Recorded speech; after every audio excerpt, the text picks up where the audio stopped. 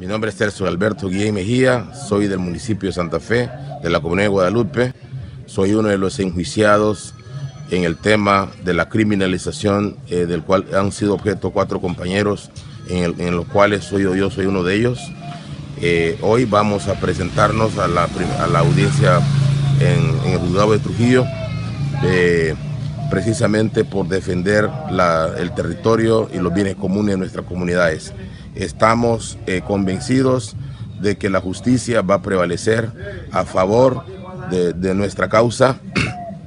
y eh, dado de que la tierra que estamos eh, reclamando, peleando, es a favor de la colectividad,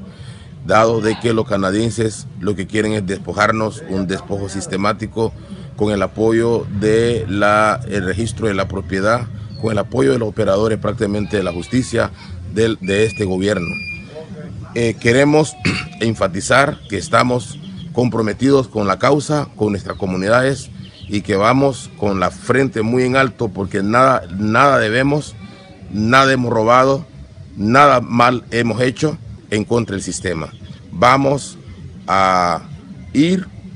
para poder eh, enfrentar la justicia, la injusticia, porque lo que están cometiendo es una injusticia en contra de los fieles defensores de nuestras comunidades.